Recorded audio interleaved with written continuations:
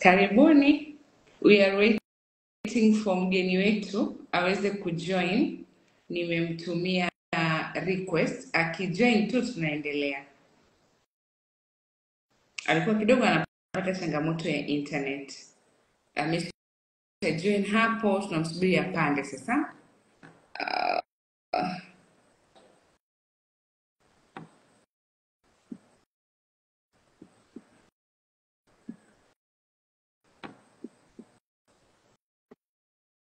Oh, perfect. Perfect. Asante. Hapo tunakuona. Eh, Mungu ni mwema. Maana watu watu wasa kusubiri alafu internet izingue jamani. No. Karibu Pole sana. karibu sana. Sasa Naam, nilikuwa naomba nifanye introduction kidogo ya mada alafu nitakaribisha ujiintroduce alafu tuendelee. Uh, mimi naitwa uh, CPA Amina Ramadhani Haigai, wananifahamu mimi natokea Chief Finance, ni Mrs Finance na mgeni wetu atakuja kujitambulisha, lakini ilikuwaje tukaja na hii mada inayosema ulinzi wa taarifa binafsi za kifedha? Ni kwa sababu mwezi Oktoba kidunia huwa ni mwezi wa cyber security, wenyewe wanasema cyber security month. Na mataasisi mengi huwa yanaadhimisha kwa namna ambavyo wao wana, wanakuwa wanaakisi zile shughuli zao za kila siku, na kunakuwa kuna ile simu ya dunia, alafu wengine wanaichukua ile simu wanaenda kuiboresha au kui kui, kuitohoa ili iweze kufanana na wao. Kwa hiyo simu ya mwaka huu ni Secure Our World. Kwa hiyo na sisi tukaona tuna mambo mengi ya kuwafahamisha watu kuhusu cyber security, lakini kwenye upande wa fedha. Wengine inawezekana wakaelimisha kwenye upande pengine wa ulinzi wa watoto au upande wa nini, lakini Chief Finance tukasema tubakie hapa kwenye masuala ya kifedha. Ndio maana tukasema ulinzi wa taarifa binafsi za kifedha wakati tunaizimisha Cyber Security Month ambaye ni Oktoba uh, 2024.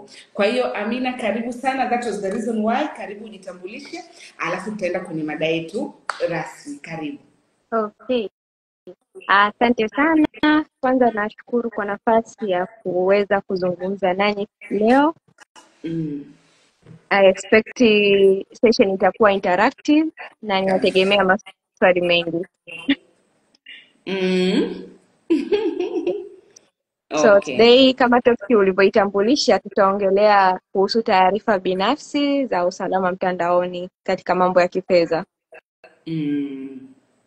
Sawa, asante sana, asante sana Amina, na nilikuwa nataka niwafahamishe watu kwamba mm, tuko na mtu sahihi kwa sababu uh, Amina ili ndo eneo lake, masuala ya security security za KIT na nini, yani ndo alikobobea huko. Kwa hiyo alafu nimependa kwamba kabobea huko inawezekana kitaaluma, lakini hata kwenye kazi zake anazozifanya kila siku anafanya kazi kwenye maeneo hayo.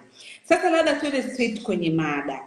Kwa hiyo ina maana kuna taarifa ambazo tunafaa tu, tu share na kuna ambazo hatufai kushare. Yeah. Mm-hmm. Tunaomba tufahamishe ni zipi hizo? Okay. Labda kwanza kabisa mimi ningependa tuanzie kwenye tunapoongelea ta, taarifa binafsi ni zipi, especially mm-hmm. kwenye hizi ishu za mitandaoni, za kwenye fedha, za kwenye labda kadi zetu za benki, mobile money, ni taarifa zipi ambazo ni taarifa binafsi?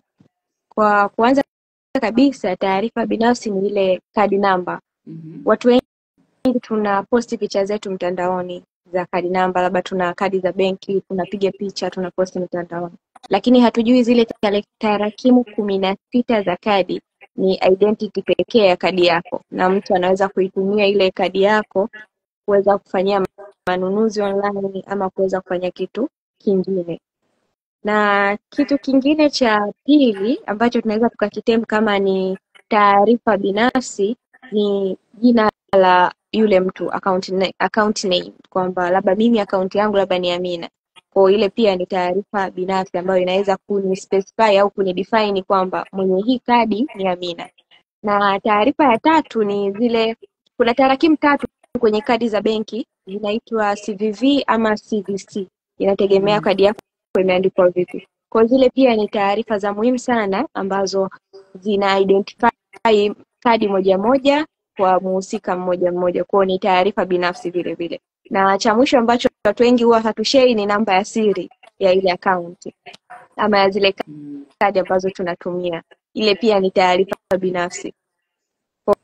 Kwa hizo ndio taarifa binafsi ambazo ukisema mtu akiongelea taarifa binafsi anazizungumzia hizo. Hatuzungumzii kwamba kadi yako ni ya CRDB, kadi yako ni ya NMB, kadi yako labda ni ya different bank. Hiyo inaweza ikawa tu, lakini taarifa binafsi kubwa kwenye kadi za benki ni hizo nne nilizotaja: namba ya siri, uh, kadi namba, akaunti namba sio taarifa binafsi kwa sababu unatumia kupokea pesa eh. Naongelea ile kadi namba ambayo ina tarakimu kumi na sita, lakini vilevile vile ni ile CVV, CVV na au CV, CVC na moja nilisahau kuitaja ni ile expire date ya kadi yako.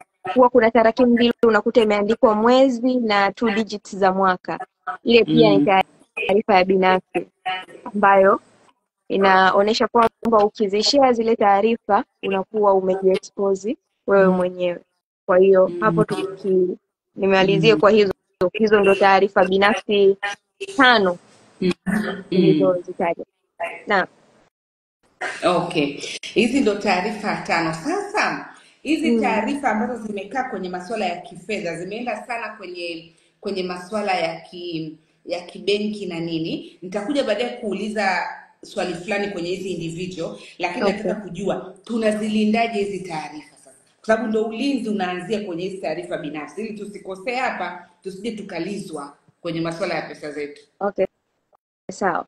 Sasa labda tuanze kwenye makosa mengi tunayofanya tukiwa tuna hizi taarifa zetu, tunazilinda vipi? Kwa sababu mlinzi wa kwanza wa taarifa zako binafsi ni wewe mwenyewe na sio taasisi fulani, kwa sababu zile taasisi nyingi sio watoaji, kwa sababu wao wako guided. Tuna sheria sasa hivi ya data protection ambayo haimruhusu yeye kutoa taarifa zako wala kushare na mtu yoyote, lakini makosa mengi yanatokea na na fraud nyingi zinatokea mitandaoni kwa sababu sisi wenyewe ndio vyanzo vya kushia hizo taarifa mitandaoni. Tunafanya nini? Cha kwanza, watu wengi tukianza kwenye kadi zetu za benki, na hisi ni tunahisi ni kama trend. Unakuta mtu anakuambia share kila kitu ulichokuwa nacho labda kwenye wallet yako, na sisi bila kufikiria tunapiga picha kadi zetu tuna share kwa pale, unakuta tuna expose zile information lakini mtu kadi imepotea ya mtu, ukiipiga picha unaipiga pia na taarifa zote. Kuna zile CVC zinaonekana, expire date zinaonekana, kadi namba zinaonekana. Ukihisi unamsaidia yule mtu, lakini una expose taarifa zake. Na kitu kingine ambacho tunakosea ni kwenye usetiji wa namba za siri. Wengi tunaweka miaka yetu ya kuzaliwa. Kwa kuweka miaka ya kuzaliwa inakuwa ni rahisi mtu ku, ku, kujua. Kwa mfano kama mimi nikijua umezaliwa mwaka labda elfu mbili nitaweka password yako kama mwaka elfu mbili of inakuwa ni rahisi, unamrahisishia yule mwizi hata asitumie nguvu kupata password yako. Na na kosa lingine kubwa tunalofanya ni hizi kadi zetu za saving. Wengi tuna kadi za saving. Kuna baadhi ya organization sijui ni banks zinakuwa zimefunga kadi, huwezi kuitumia online, lakini kuna baadhi ya kadi inaweza ikawa ni saving card, lakini unaweza kuitumia kufanyia manunuzi online. Sasa wengi tunatumia zile kadi zetu za saving kwa kuziweka online, kufanya online purchase. Hapo tunapoweka online purchase, ile kadi itakuwa labda ndio inayoingiza salari yako. Kwa hiyo ikija zile deduction zinakuwa zinapita automatic kwa sababu umesha authenticate. Kwa pia hilo ni kosa. Hatutakiwi kuweka kadi zetu za saving online. Tunatakiwa tutengeneze virtual card na ziwe kama ni debit card ama ni credit card, lakini tunatakiwa ziwe ni virtual card kwa ajili ya manunuzi tu ya online. Tujifunze kutenganisha. Hapo nimeeleza kwa uchache, lakini vile vile watu wengine tuna tabia ya kushea namba zetu za siri pamoja na watu wetu wa karibu, tukiamini kwamba ni ulinzi, lakini tunajisahau tumeshea kwa njia zipi na nani anaweza akawa ana access ya simu yake akaweza kupata ile namba ya siri. Naomba nirudi kwenye swali lako, naomba uliulize tena. Aha, tuna tunazilinda vipi sasa? Tunazilindaje taarifa? Okay. Sasa kulinda kwa mtandaoni ni papana kidogo. Cha kwanza kabisa tusiweke kadi zetu details, namaanisha details za kadi zetu kwenye website yoyote kama hauiamini. Ni lazima uwe una yani, lazima iwe trusted website mpaka ukaweke hizo details zako za kadi. Kwa mfano, unafanya manunuzi online umepita tu kwenye internet imekuja page weka taarifa zako za kadi hapa kufanya malipo. Wewe huangalii zile url kama ni zenyewe hujui unayemlipa kama kweli labda unataka kununua kitu alibaba. You have to ensure kwamba ile ni, ni, ni website genuine ya alibaba na si hizi uh, tunaita linki feki kwa sababu kuna linki nyingi sana ambazo zinakuwa ni feki na wengi huwa tunakuwa ni victim pale kwa sababu tunaweka taarifa zetu pale za benki na wale watu wanapata access kwa hiyo wanaweza kuwa wanatudidact hiyo cha kwanza kabisa ili tujilinde haukatazwi kufanya manunuzi mtandaoni. Kwa sababu sasa hivi dijitali ndio kila kitu ni lazima tutabidi tutumie hizi technology. Na kwenda forward itakuwa ni kama kitu cha kawaida. Tunalinda vipi? Cha kwanza kabisa kama hauna kadi ya kufanya manunuzi mtandaoni tengeneza kadi kwa ajili ya kufanya manunuzi mtandaoni. Manunuzi mtandaoni unaweza ukafanya kwa virtual card. Nowadays hizi simu zimetusaidia. Unaweza ukatengeneza visa kadi kwa kutumia mpesa. Unaweza ukatengeneza kwa kutumia tigo pesa lakini vilevile unaweza ukatengeneza kwa kutumia airtel money. Na site ambazo huwa hazikubali hizo debit card za kwenye simu. Unaweza ukatumia paypal ukatengeneza akaunti yako. Kwa hiyo inakuwa ni kama virtual wallet yako ambayo wewe uta transfer money from your bank kwenda kwenye pipe, ile paypal wallet yako. Alafu mm. utatumia ile paypal kulipa sasa online. Kwa hata kama itakuwa ni feki ile ile linki ambayo umeenda kulipia ile site itakuwa ina access ya ile paypal yako tu haitokuwa na access ya ile direct account yako kwa unakuwa kama vile umeweka kitu kati ambacho kitakusaidia kuwa kinapunguza ile attacks kuja kwako direct. Hilo ndo kubwa zaidi ni yani kukubwa zaidi ni lazima utenganishe kadi yako utengeneze virtual card. Kama pia huwezi kutengeneza virtual card benki zinatoa huduma ya wewe kutengeneza credit card. Kwa unaweza ukaenda benki ukatuma request ya kutengeneza credit card ukitengeneza credit card yako itakuwa kwa ajili ya manunuzi online kwa hiyo utakuwa unaiwekea pesa pale unapotaka kuitumia ama pale unapotaka kununua. Hicho cha Sasa- kwanza kikubwa. naam. Sasa hapa kwanza na, na nimekusikia unawashu, unawashukuru mitandao ya simu na mi nataka niwashukuru sana. Actually mimi na virtual card ya voda. Na Okay. huu ni mwaka wa pili. I did it first year ikaisha and then nimeifanya mwaka huu tena nimerenew kwa Oh, sababu wakati right. naanza anza kwanza mimi sio muumini wa kununua online.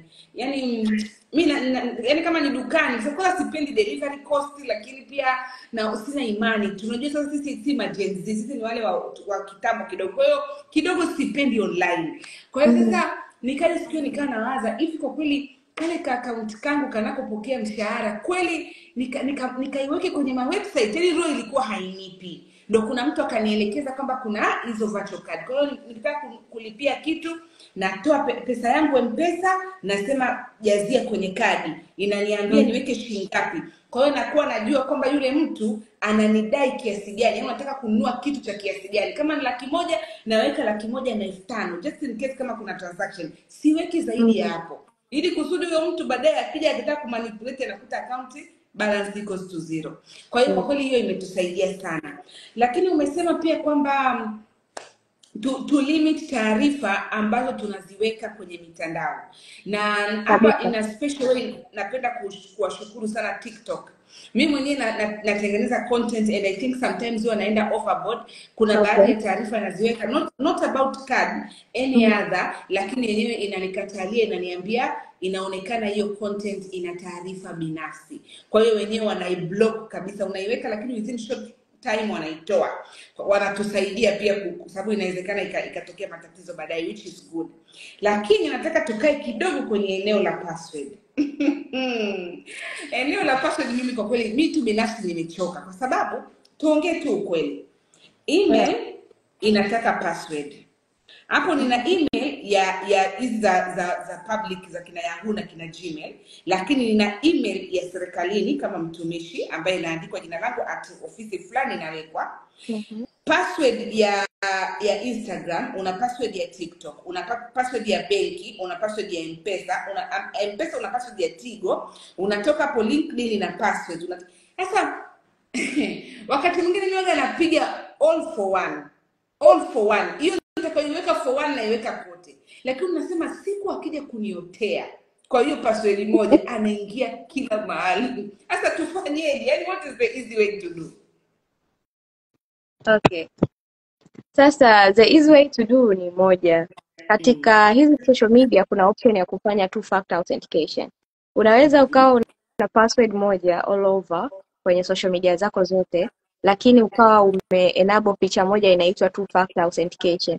Ukienable ile factor ya uh, ile feature ya two factor authentication, hata mm. kama ukiweka password ambayo ni sahihi, bado itakuomba uh, more verification ili iweze kujua kama ni wewe mm. na mara nyingi unai- unaiambia wewe kwamba unataka itume itume vipi second verification itume yeah. kwenye namba yako ya simu ama itume kwenye email yako ama ikutumie whatsapp yote ina njia tatu za ku authenticate so wewe unaweza kuchagua njia ipi kwako ni sahihi ama ni rahisi ama ni nzuri ambayo itakurahisishia wewe kwa authenticate kwa mara ya pili ili kujua kwamba wewe ndio uliye login kwenye ile akaunti yako. Kwa kwa mfano kama ume login kwenye Instagram ita, utaweka password yako lakini bado itakuomba two factor authentication ili uweze kujua kama ni wewe. The same kwenye Gmail, kwenye email account zina tabia ya kufanya two factor authentication. Kwa unaweza ukaweka password ambayo unaitumia kote na bado uka ukaomba kwa authenticate kwa mara ya pili. Kwa itakuwa hiyo ndo kidogo inasaidia zaidi na naona inasaidia kupunguza hizi password kuwa breached na kutumiwa na watu ambao sio wahusika sana. yaani uh, nasema hivyo kwa sababu mi personally nikiri kabisa kwamba nimelemewa na mzigo wa password. Yaani nina password kila mahali ni password.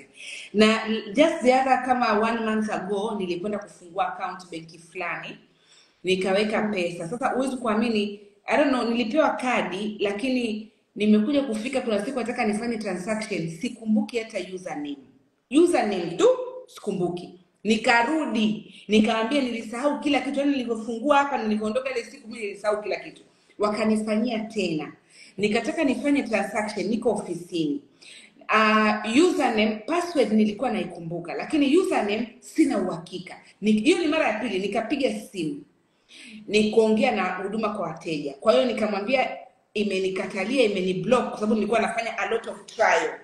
Nahisi ikahisi kama ni uh, ni unofficial ikaniblock. Kwa hiyo nilikuwa napiga niwe unblocked nikamuuliza hebu nikonfirmie hivi username yangu ni so and so? Akaniambia no mi siruhusi kukwambia username. Wewe unabidi ujue username yako. Kwa sababu nami nikawaza kweli inawezekana mtu yoyote akapiga akasema hivi username yangu ni ipi? Nikumbushe. Tukaibiwa. Yani mambo ni mengi jamani ulizo taarifa binafsi. Yeah. kwa hiyo tuzisave wapi hizi password? Is it good kuzisave mahali Unazisevu kwenye nini? usisevu password kwenye open text. yani usije ukawa unaenda kwenye kinotepad chako hapo tunaita stick note ya kwenye simu. I don't know how to call it. But ile notice ya kwenye simu. Usije ukawa unafika pale ndo una save kila kitu pale. mm. Unaweza ukaweka same password lakini kumbuka kutani ile two factor authentication kwa sababu mm. two factor authentication itakachokusaidia inakuwa inatuma different codes. mm. Kwa Mm. Hiyo ni kama kind of OTP lakini ni kodi ambazo zinakuwa kila muda zinakuja tofauti. Kwa hiyo ndio inaweza kusaidia. Yes, inakuja ni either ni namba tofauti ama ni neno tofauti. Kwa hiyo ndio itakayokusaidia wewe hata kama una password moja kote, ile tu factor ukienabo kote itakusaidia sana kushindwa mtu mwingine kuaccess taarifa zako au kuaccess account yako. okay Lakini eh, pia kuna hizi NIDA namba, watu wengi wanashare. Mm. NIDA namba yako ina uwezo wa kufanya mtu akaweza kupata taarifa zako nyingi sana za binafsi. Kwa hiyo pia Mm. tujitahidini tusiwe tuna tunaposti NIDA namba zetu kabisa Mm. mitandao. Mm. sawa kabisa hiyo ni kweli nida namba tuna hata hata vile vitambulisho tunavipiga sana picha vile unaongea tu na Yes. mtu kidogo umemrushia umeongea na mtu kidogo umemrushia na zile namba zina vitu vingi hiyo nimekuelewa sasa Naam. turudi tena kwenye password umesema Okay. tusi- tusishie na watu tusi nini na nini lakini kuna ile kwamba unaondoka ghafla Mm. Unajua so many people wa, wa, wanakufa lakini kuna mpesa kwenye mpesa kuna hela nyingi and nobody knows hivi unajua kuna mahela mengi sana kwenye system ambayo hayana wenyewe mwisho wa siku yanachukuliwa yanapelekwa bot hapo tutafanyaje kwenye hii mambo Hapana, mimi ninachoamini kila kila kitu kina, ut- kina utaratibu wake ambao unatakiwa ufatizwe. Kama mm. kesi ni ya DC, mtu amefariki, muhusika anatakiwa aweze kwenda sehemu husika kwa ajili ya hicho kitu. Kwa hiyo kama ni M-Pesa, aende Vodacom with all details, vitambulisho vyote ambavyo vinaonyesha huyu mtu ame, amefariki na relationship ya wewe na huyo mtu imekuwa Mm. vipi. I hope wana procedure ambayo wanaweza wakakupatia wakareset ile password yake na wakakupatia. sawa Yes. sasa The same to, to benki na other place mm -hmm. kama wali, kama uliweka beneficiaries I think wataku, wat, kuna procedure za kufatiza so ni sisi jukumu letu kujua ni procedure zipi zinatakiwa zifatizwe ili muweze kupata pesa za mtu wenu ambazo zilikuwa kwenye account. mm. Na, na, na, na kwa sisi wa tanzania tunavyojijua nadhani safari itakuwa ni ndefu lakini we just have to try kwa sababu kuna mtu mwingine Okay. unajua anawekaga ana- anaekaga akiba hata kwenye mitandao ya simu and nobody knows eh? Yani hata Yeah. mke hajui hata unakuta mke hajui hata amewekeza wapi amenunua hisa wapi yani anafanya vitu kimya kimya yani ukiondoka mm, ghafla ghafla ile hujasema watu wanakuwa hawaelewi sasa kingine Mm. uh, umesema kwa mfano kuna umesema kwamba akaunti ya benki yenyewe sio taarifa ya siri sana eh? Yes. ile account number. Account namba yako sio taarifa ya siri kwa sababu ile tunatumia kupokea pesa. Unaweza ukaweka mm, mtandaoni hapa na mtu asiweze kupata taarifa yoyote. mm, lakini kadi mm, namba ile ambayo ina 16 digits is very important and very private don't share it mm, -hmm. kwa hiyo account number i think the same na kama pia lipa namba hizi sio za siri. Yes. Yes. Na na wala haziwezi kutumika mtu kuweza kuiba not unless apate hizi taarifa zingine zimwasist. Yes. Kwanza kwenye kadi yako we mpaka iweze kuibiwa pesa ni taarifa tatu za muhimu. Cvv mm. uh, kadi namba pamoja na ile expire date and the year. That's a very important uh, information ambazo zinatumika kuweza kutumia kumanipulate kadi yako. Ila akaunti okay. Namba ni sawa na lipa namba tu haiwezi ku, kubadilisha chochote haiwezi kufanya uka, mtu akatoa chochote Okay, sawa. Kwa hiyo taarifa zingine labda za kifedha binafsi ambazo haujazitaja bado. kwenye kwenye, kwenye mitandao hizo ndo za muhimu sana Mm. generally sasa hapo hiyo itakuwa sio kwenye mambo ya digital kwenye digital yeah, platform hizo ndo za muhimu sana nilizotaja na ukizi expose hizo unaji expose yourself to to be attacked ama kuwa manipulated in anyhow Mhm. Mhm. Sawa. Hivi na, na vipi vile unavyokuwa unachukua unatoa pesa kwenye ATM alafu ile risiti hauondoki nayo. Kuna vile vi- virisiti vidogo vile. Vile vina madhara kwani tunapovitupa tu kwenye nani pale kwenye zile dashboard. risiti kwa nyingi nilizofanya mimi nikaziona zile kadi namba inakuwa haiko yote inakuwa iko haidi hapa kati. Inaachiwa namba Eh, nne za mwisho na chache za mwanzo kama nne. Kwao kwa kuna namba kama nane hapa kati hazipo. Kwa hiyo it's not easy for mtu kuja kugesi namba nane zote akazigesi kama zilivyo. Mm -hmm. yes. No, itaonyesha tu the balance sana sana inacholivili ni balance yako. The amount mm. umetoa na the remaining balance. That's all. Lakini account number card number zote zinakuwa hai eh, zinakuwa hazina. Na, na, na watu wanazitupa sana. Naona watu wanazitupa yes. kweli kwa hiyo hizo sababu zimefichwa. Kuna some digits pale katikati uh, zinakuwa mm. zimefichwa.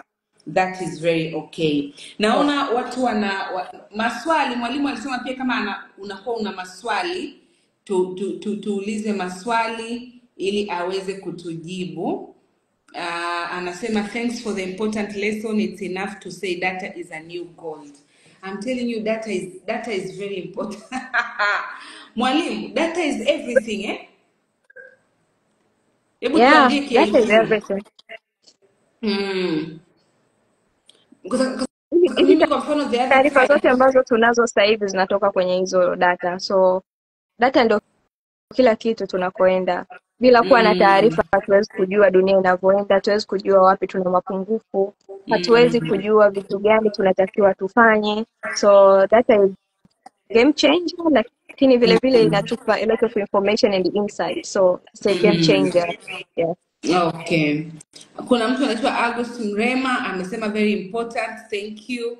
And then Fili amesema hii elimu nzuri, walai nilikuwa sifahamu kama CVV ni muhimu hivyo, kwa sababu hata wale ambao wanataka walipe wanakambega uandike CVV na expire date. Kwa hiyo it's a very important data. Kwa nini unaandika CVV na expire date kwa mtu ambaye unataka kumlipa au unaongelea online?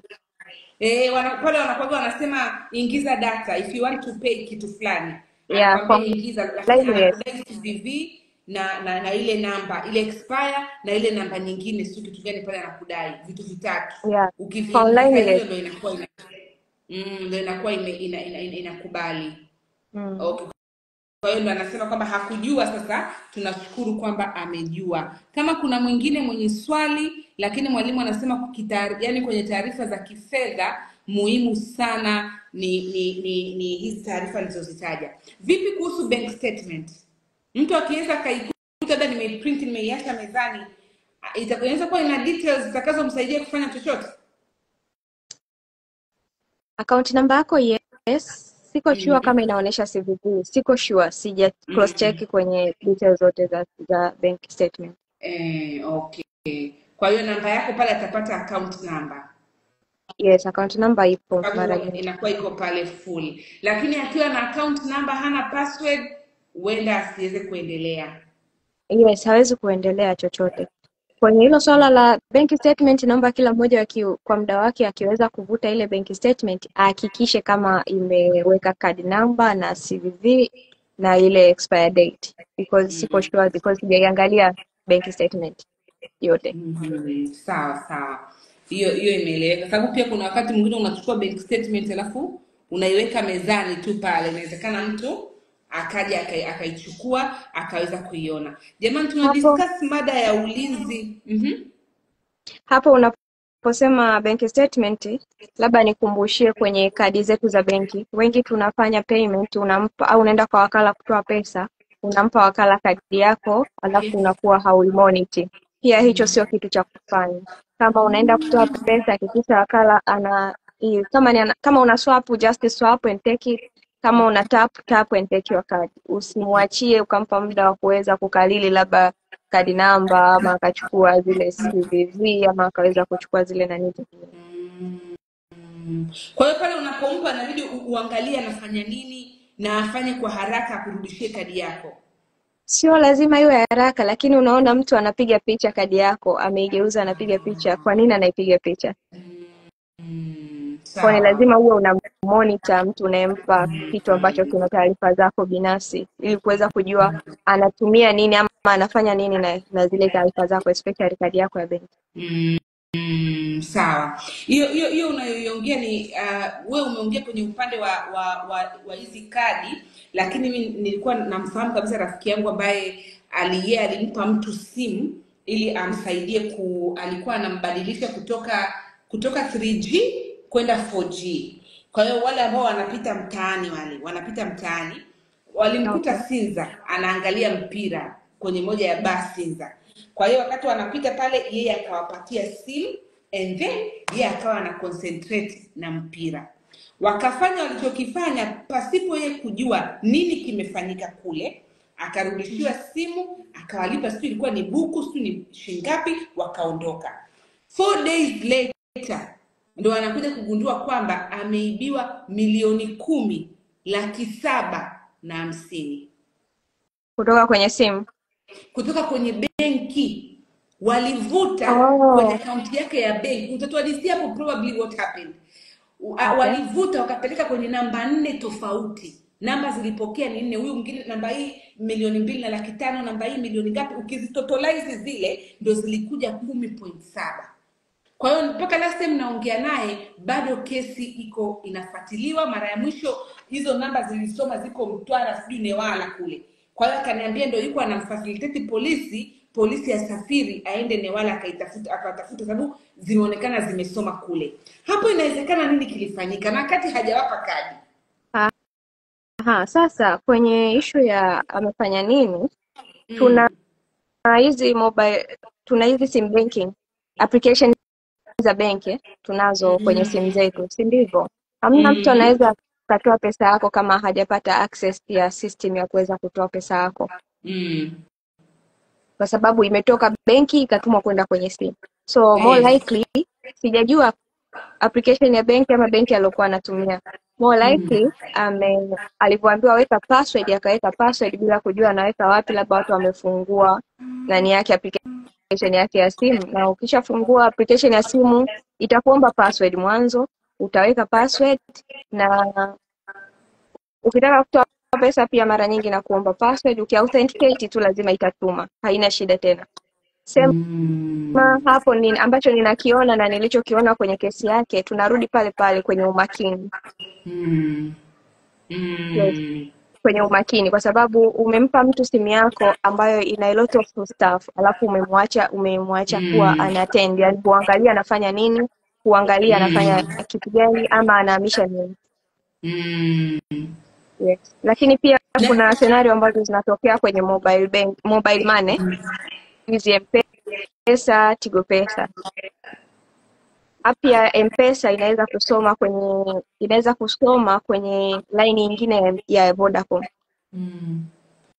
Kwa hiyo kama wewe umempa mtu simu yako alafu aka, aka install M-Pesa app kwenye simu yake ambayo anatumia Voda na ukaweza ku authenticate zile initial code, Mm. ataweza kutumia fingerprint yake ili aweze kulogin kila muda. Mm. Kwa hiyo hapo ana uwezo wa kuhamisha pesa pia akiwa yuko mbali. mm-hmm.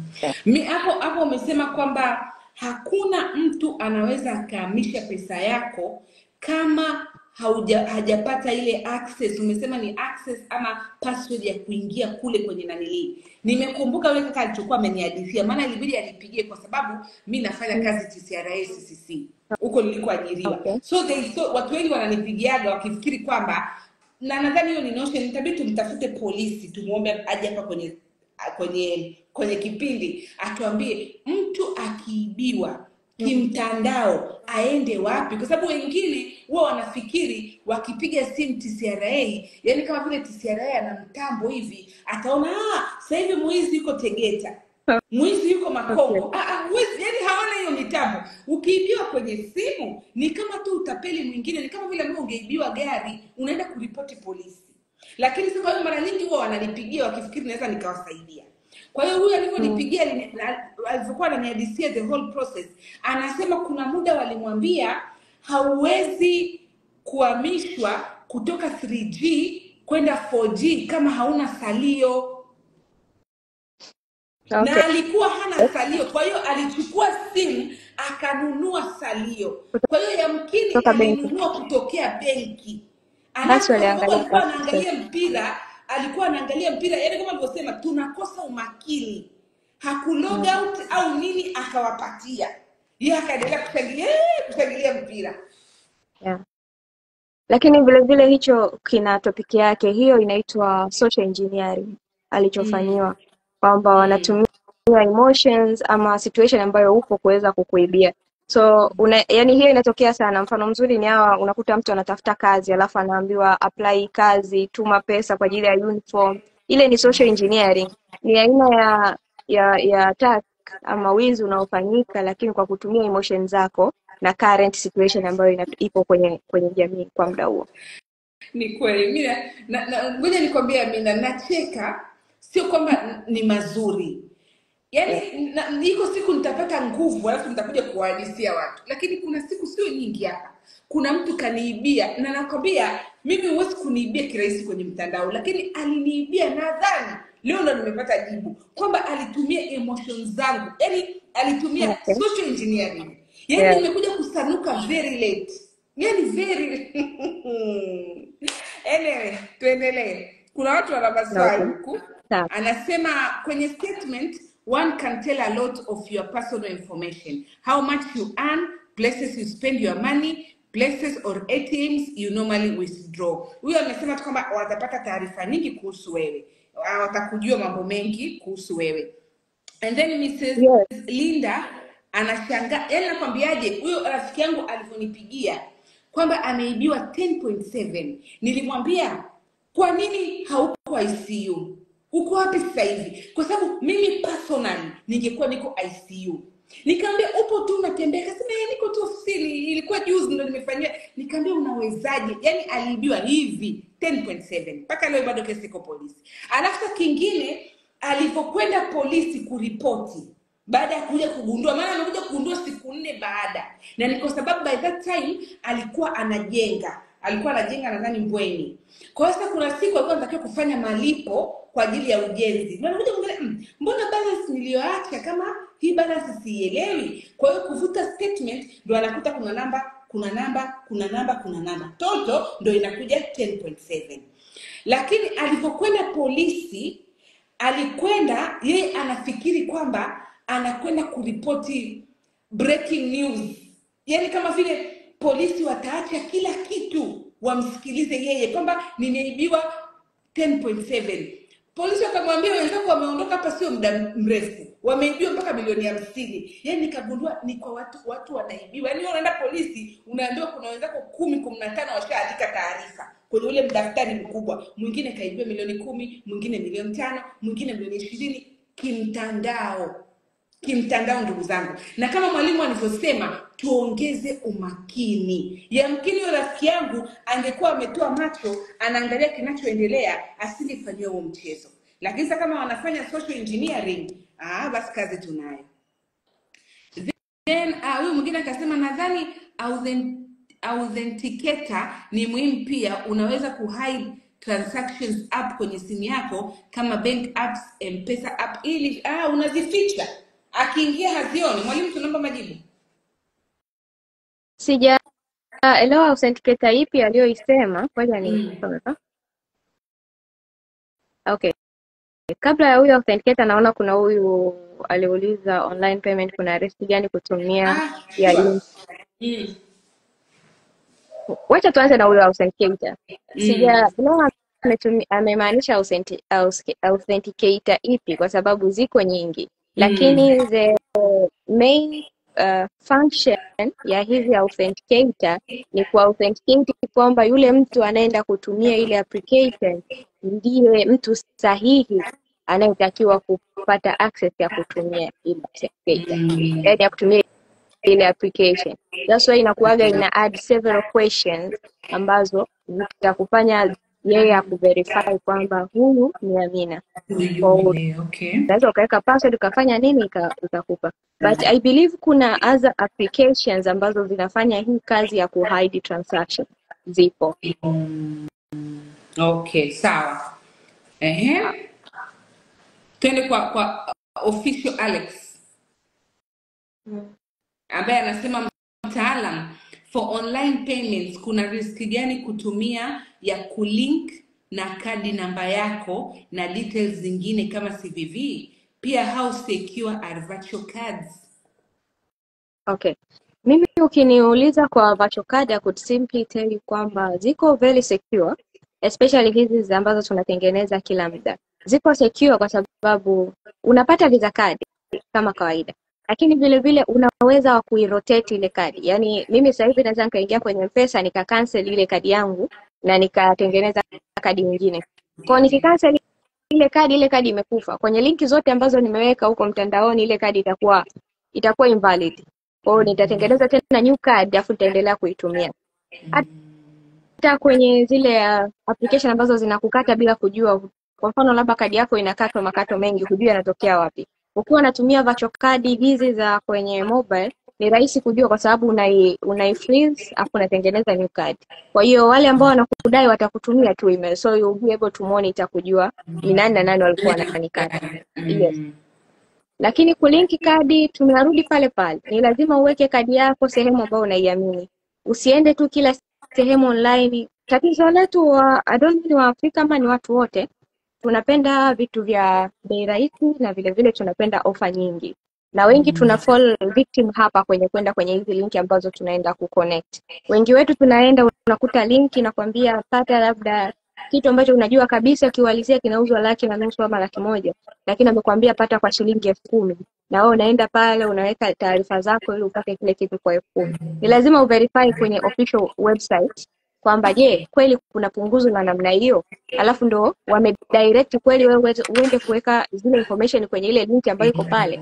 Otherwise rudi tumia genuine link. Wengi tuna fall victim hapo. All, yani vitu vingi sana uh, attacks nyingi za mtandaoni, wizi mwingi wa mitandaoni umehusishwa na umelinki kwa 90% na social engineering kwa sababu wameshajua ni vitu gani tunataka, vitu gani vitafall faster.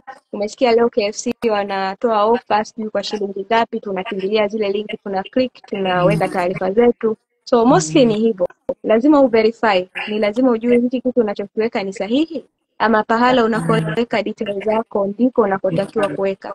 kuweka hiyo hiyo alafu nashukuru na, na, kwamba hata kwenye baadhi ya magrupu ya whatsapp ambayo tupo kuna watu wa, kama wewe amina wanaoelewa haya mambo huwa wanatupa warning. Kwa sababu mtu anatuma linki anasema sijui tanesco inasherekea nini kuna luku kila mtu anapata luku ishirini luku ishirini za bure click hiyo link yako tangia lini TANESCO wakatoa ndugu za bure jamani. Unasikia mtu anasema usisubutu. Hizo ni mambo feki. Sasa mi nimekuwa mwoga ukiniambia sijui kuna zawadi ya kfc sijui kuna mapaja yanatolewa bure ya kuku mimi i don't click those links. Kwa sababu anakwambia uclick link. Una click kumbe ndo inaenda inakuwa imeenda kuku- kukuumiza zaidi anasema yani sasa hivi kuna utapeli mwingi kama usipokuwa makini. Yaani kwa kweli usipokuwa makini utapoteza hela mpaka utashindwa kuelewa upo wapi. Da inabidi tuwe makini sana kabisa. Authentication code ndo ulisema wanatuma wanatuma code inaweza ikawa namba au inaweza ikawa maneno mwalimu eh? Yes, yes. Inaweza ikawa mchanganyiko wa namba na maneno, inaweza ikawa ni namba peke yake, inaweza ikawa ni neno peke yake. Oh, okay, sawa. Na ule nadhani alikuwa Oscar alikuwa ana- anajazia tu. And then uh, Smart Bango TZ anasema Microsoft Authenticator inayokupa notification app inapotumika. Yaani leo naondoka na maneno ya KIT. Ngoja nichukue nikai Google. Nikai na mimi